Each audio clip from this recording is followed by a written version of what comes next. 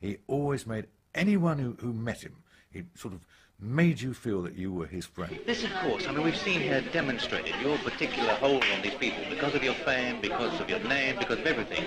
You have a tremendous hold on these people. We've seen it here. Does this strike you as being a great responsibility?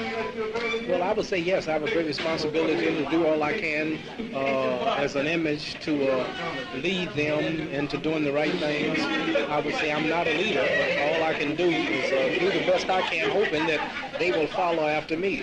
Like, uh, like for an example, uh, I think that uh, the smoking that they are trying to do at a young age. You know, I just encourage this, and the drinking and the mistreatment of women, and the stealing and gang wars and fighting and killing one another, which is going on throughout the United States.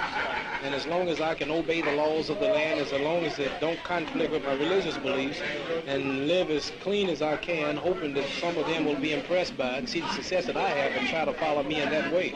I think despite the seriousness of, of the situation he found himself in over this draft business, uh, despite that, I think he always had the self-confidence that at some stage he could get back into sport. He'd never boxing was basically was the only thing he could do with, with great proficiency, and I don't think he ever ever thought my career's over. He always had that optimism that he would he would get back.